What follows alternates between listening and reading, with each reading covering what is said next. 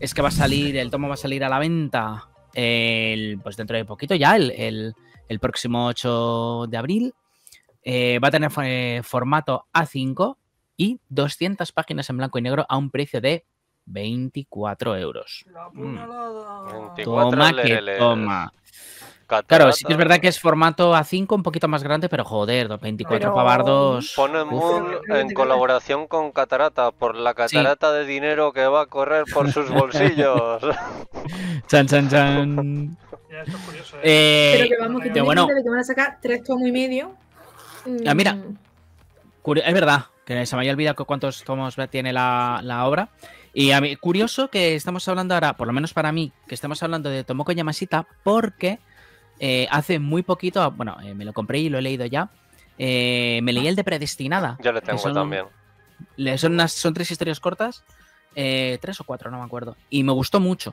La verdad es que lo disfruté. Aparte, la edición de Tomodomo es preciosa. Y bueno, también yo creo que, igual no sé si me estoy colando, pero creo que la más conocida es The Night Beyond the Three Corner Window. Sí. Que, ay, no, se me ha olvidado. por, Panini, el, Panini. el anime lo tenéis en Crunchyroll. Ujú. Que es un BL, si no recuerdo mal. Sí. Sí, ¿no? Así que, Muy bueno, pues muy, te- muy bueno, ¿eh? También. eh, de- Ujú. y, y es de esos que sorprende que la- Panini la última vez comentó que no. sí. Que le venía fatal. Sí, es que bastante- No nada bien. es bastante famoso. y Yo tengo entendido que es así también como un poco oscurillo, ¿no? Tiene un Sí, rollo Es así. bastante oscuro. El, el Ujú. tema es que parece que no, no ha funcionado, pero sí que No. tomo que Porque el anime pues, fue muy lento. Claro. Y la pero, peña no, se pero no es mala serie, ¿eh? A mí No, no, no. Y. y otra cosa que me llama también la atención es que de Tomoko Yamashita tenemos eh, ya con esta tres obras publicadas de, de la autora aquí en España y las tres, y eh, una de ellas descatalogada que es Sí. predestinada y cada una editada por una editorial diferente. Mm. Predestinada por Tomodomo, The Night eh, por Panini y ahora pues eh, Her por parte de Ponemon. Así En que, principio- al- En un principio esto también es como predestinada, ¿no? En plan recopilatorio de, si no me equivoco, seis historias cortas. Mm. Entonces habrá que echarle un vistazo, pero sí. Jolín, a El mí precio es abusivo, ¿eh? ya. Hostia. Es que a mí es que me gustó mucho predestinada. A mí es que me gustó también, por eso sé que voy a caer con este Y personaje. a ver, El, el precio pone Mone. Por- es tema. A ver, pero sí que es verdad que Ponemon normalmente edita muy bien. No suele. pero no- ya, Hombre, que editó muy bien, aquí es se de cojones. No es que editen mal. Ya, no ya. quiero- No, que no hay ningún tipo de extra, no es una edición tapa dura, no es una edición. Es caro, es caro. Que, que, que digas, vale, Como que no hay nada especial. Es caro de cojones. Mm. Es caro de cojones para 200 páginas, aunque el formato sea más grande.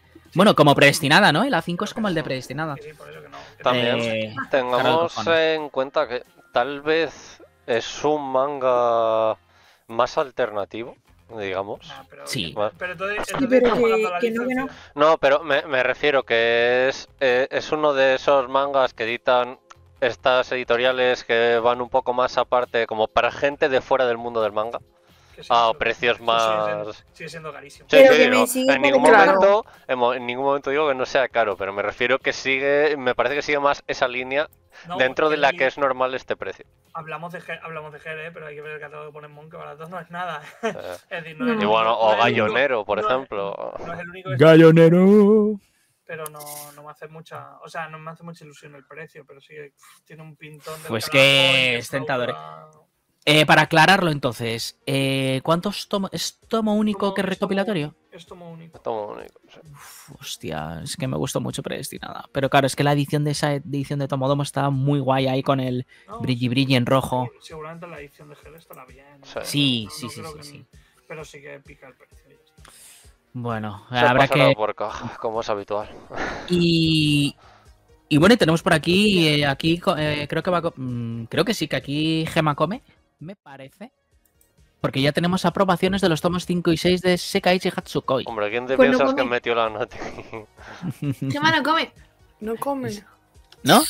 No, porque lo sigo teniendo en inglés y me, Ah. me jode mucho, pero no me voy a comprar Sekaiichi dos veces. Claro. Pero vamos a. Ahora nos comentas, pero bueno. esta edición que de hecho Gemma, lo que la pasa es que está enfadada con Ibrea. Bueno, mientras lo, lo vamos comentando. Sí, perdona, Gema. esto salió en eh, Estados Unidos, que la tengo sin abrir. Te digo el año, porque mm, es que te vas a... O sea, quiero que busquéis, eh, métete en listado manga y mira cuántos tomos tiene esto. Están unidos. Muchos. Por lo pronto, mientras lo, lo buscáis, comentamos eso que. Esto se publicó en 2008. Fíjate. Eh, solo quiero decir que esta obra, la gracia que tiene mm, es Die- que este 19 mujer, abierta. El, cuarto aquí fue lanzado en julio de 2020. 2020. Eh, y lo gracioso es que esta historia, el, el punto de la historia de lo gracioso es que un personaje no se le declara al otro. Eh, pero los dos saben que están enamorados, pero no se le declara y la gracia es que se le declare. ¿Es un poco ¿Qué ha Love is? ¿Es un poco Love is War como Kaguya? O... No, no, no, no, no, no, ni de puta coña. Esto está mucho mejor. Em, sí. Eh, sí. El punto se ha perdido, la gracia se ha perdido. Yo sé Kaichi. Mira que. em, Muy mal tiene que ir la cosa para que lo compre. Estoy cabreadísimo. Ah, Estoy muy cabreada. a Estoy. Por lo, pronto, ¿eh? por lo pronto lo que se ha comentado es que el quinto tomo está previsto que salga en abril. De momento es Ah, lo que, Yo lo que no, no creo que haya sido por voluntad de Ibrea. Y, y, de hecho me sorprende ya desde un principio que Ibrea licenciase Sekaiichi viendo la Es muy situación de. Junjo. Ya, pero, Pero si, tienes Junjo como la tienes, no licencias Sekaiichi porque sabes que te va a pasar lo mismo, me refiero. O sea, No, no, si yo no te lo niego, pero es que yo sinceramente estoy cabreado. Y como estoy cabreado, no. Y, y yo la hago pues porque eh, voy a por el tomo 19. ¿Sabes? En plan, ya está. Pero lo que no puede ser normal es que una serie lleve cuatro años para y que llevemos mm, casi, más, o sea, casi no, 15 tomos de retraso. No, Es, es una salvajada, chaval. No, no puedo llevar 15 tomos de retraso. Una serie que yo sé que tú tienes, que- entre Dios y los gitanos, mm, tiene que vender fatal. Es lo que te iba a preguntar, Gema, que si se sabe más o menos qué tal la ha vendido. No, no se sabe. pues Pero a ver, una serie sacando un tomo de que- Pascua. O intuición, intuición. Claro. Vamos a ver, pues, pues date cuenta de que esta es una obra de principios de los 2000 con una cantidad de tropos, de cosas mal hechas. O sea, yo a una persona a día de hoy que se mete en el mundo del BL no se Nunca. mete en Sekaichi, Ha ni envejecido se mal. mete en, Junjo. Pero una persona que, eh, como yo, Junjo fue de sus primeros BL porque era lo único que había, te lo metes por el culo. A día de hoy, esto la gente no lo Ha envejecido mal. No ha envejeció más. Ha salido muchas más cosas. Se ha quedado muy atrasado. Y que no diría que ha envejecido más, diría que se tratan las cosas de manera completamente diferente, como se tratan hoy en día. Bueno, pues a ver qué tal, pero sí que no tiene son 19 ninguno- tomos, que tú no, eh, la persona no se mete a 19 tomos. Ya, es que es, es un- es una locura. Pero bueno. Pues por ahí eso queda. no la compro. La siguiente noticia, esta se me había pasado desapercibida, pero joder, me parece muy curioso, ya que por segunda vez que yo recuerde, al menos desde 2011, el concurso manga de norma editorial queda desierto, es decir, queda desierto el de 2023. No me acuerdo cuál fue el otro que quedó desierto, creo que fueron hace como 4 o 5 años, no me acuerdo bien. Pero bueno, el de este año, que creo que son por motivos diferentes, pero bueno, el caso es que eh, la en principio, a diferencia de la anterior vez que quedó desierto, en esta ocasión sí que hubo un ganador, eh, la obra Choice de, de M.A. Crispon y Fukuiku. Finalmente, o sea, se anunció que era, esta era la ganadora, pero finalmente eh, no va a ser editada este año eh, por motivos ajenos a norma editorial. Entiendo que no va a ser editada este año o que no va a ser No se va a editada, editar. no se va a editar a No se seca, ve. Entiendo. No. Eh, por lo visto, creo que no se han especificado más detalles, ¿no? Hemos dicho que es por motivos ajenos a norma. Creo que no se sabe más, pero bueno, en consecuencia, eh, el premio que se iba, que se iba a entregar, ¿no? A, a los ganadores, que eran eh, un premio consistente en 3.000 euros en concepto de royalties y derechos de representación, em, parece ser que va a ser redistribuido para eh, las dos próximas ediciones del concurso, es decir, las de 2024 y Año que 2025. viene. Ujú. Eh, entonces, claro, esto quiere decir que el premio de la edición de 2024 y de la edición de 2025, en vez de ser de 3.000 pavos, va a ser de 4.500 euros cada uno de ellos. Así que... Mm, Bueno, Sería pues- interesante saber qué ha pasado para que en un punto tan avanzado se... Mm, Yo creo que tema, o sea, tendrá que ver con una decisión del dúo. ¿eh? No- Claro, Sí, sí, sí, claro, claro, es algo personal. Aquí, por ejemplo, cuando hablamos en su día con, con los, ah, con los autores de Early Lights of Dawn, ¿no? No es algo ni sencillo, no requiere mucho trabajo, requiere mucho compromiso y cuando son un dúo hay que trabajar con otra persona y a veces no es tan ni tan Ya. sencillo ni tan bonito como parece. Y, y ellos nos contaban, a mí esa entrevista me gustó mucho porque ambos se llevaban muy bien, pero ambos también comentaban los problemas que conlleva trabajar a, a cuatro Ver, manos. claro, a veces puede surgir Y- algún y desacuerdo. Y bueno, no, no sé qué habrá pasado, me parece como muy drástico el, el no editar. es decir, algo, algo grave ha tenido que, que suceder. Pero, pero bueno, esperemos que no sea, que no sea nada. Después, A lo mejor algún tipo de quizás de eh, desacuerdo artístico. o- Puede ser que sea un conflicto entre ellos. o, o- o- o algo completamente distinto, ¿eh? O sea, no, como- O no, a lo mejor un pro, ya, yo claro. qué sé.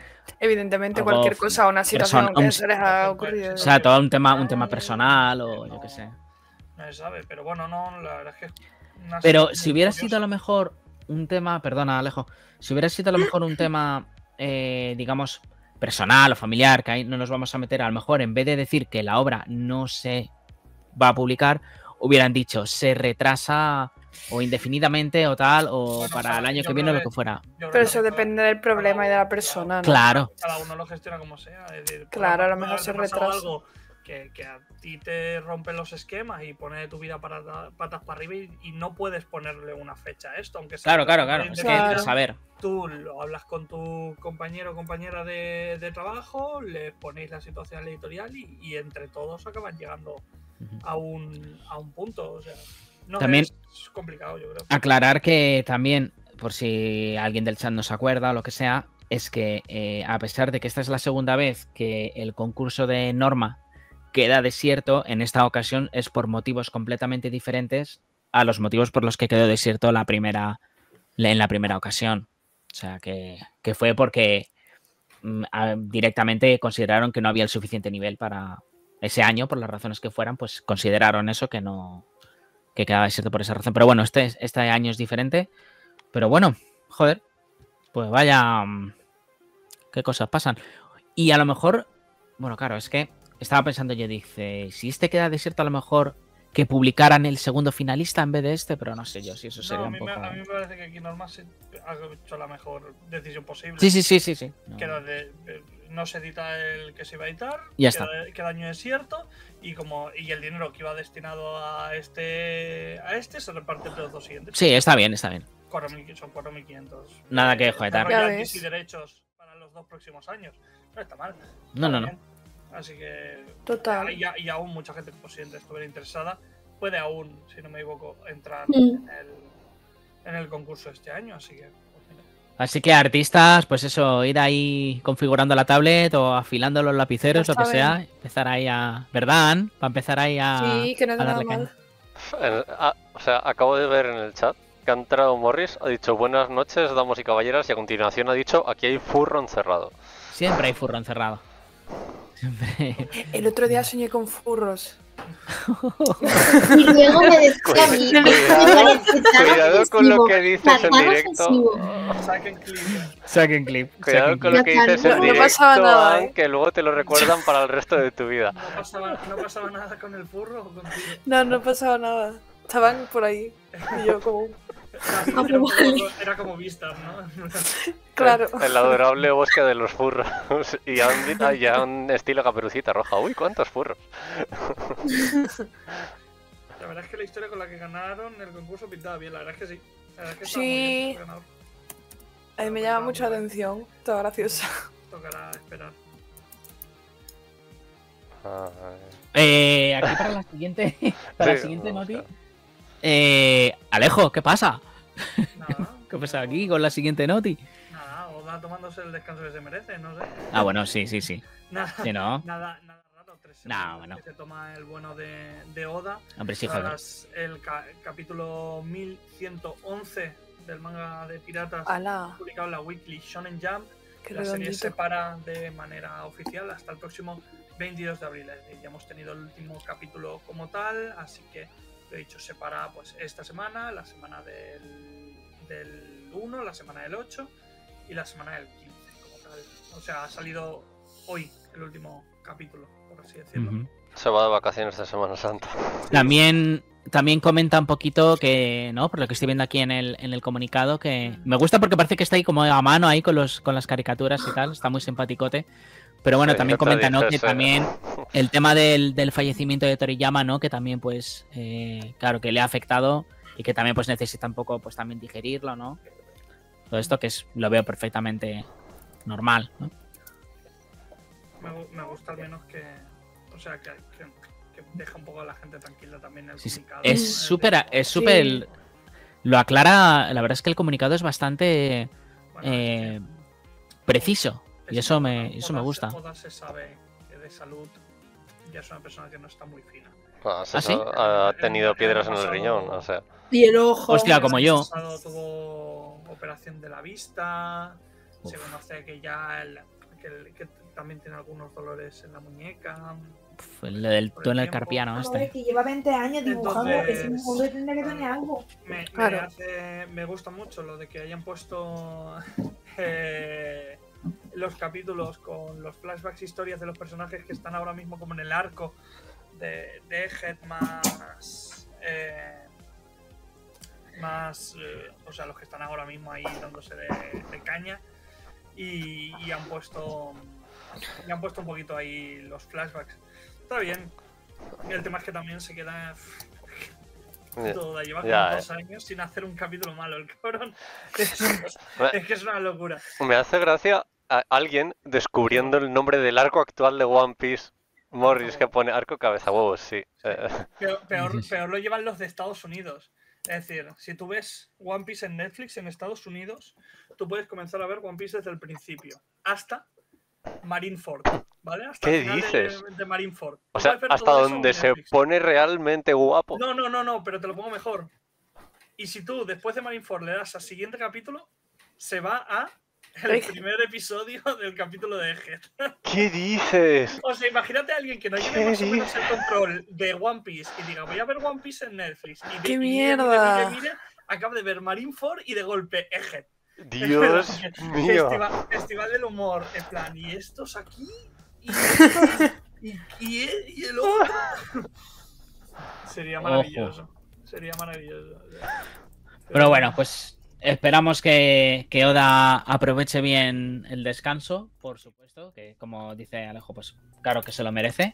Y que bueno, pues que vuelva con, con fuerzas y que, pues bueno, que siga a su a su ritmo haciendo lo que mejor sabe hacer.